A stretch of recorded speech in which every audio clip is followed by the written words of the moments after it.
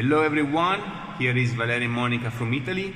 We would like to invite uh, all of you in our online lesson that we did for the WDC Zoominar Dance project.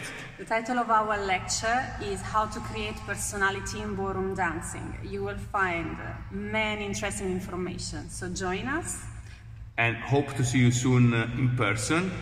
Bye! Bye!